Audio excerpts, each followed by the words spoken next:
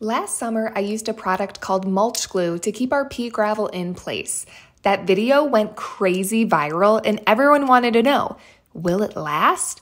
Well, it's a year later, and I want to give you an update. Sadly, our pea gravel is pretty much back to normal. The high traffic areas lost their stick after about six to nine months. However, there are a few spots that have never been walked on that are still glued together.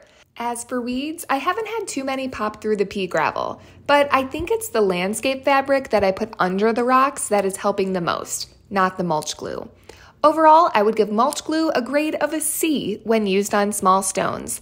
It lasted for about six to nine months as opposed to the 12 months that the bottle promised.